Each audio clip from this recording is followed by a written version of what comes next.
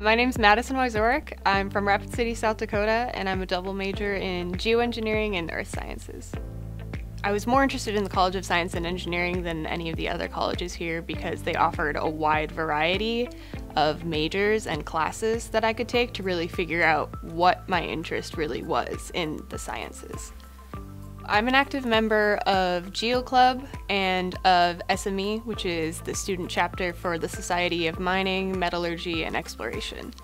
In both Geo Club and SME, it was a really great help to be involved in them because I met a lot of other people who were taking the exact same classes that I was so I'm majoring in both earth sciences and geoengineering. There's a lot of overlap, so I won't have to do like an extra year or anything. I'll get done in four years.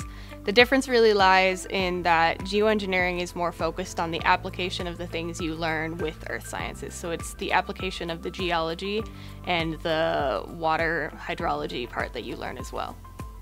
What I'm hoping to do with my degrees is something with in application to resources and human interaction with those earth resources.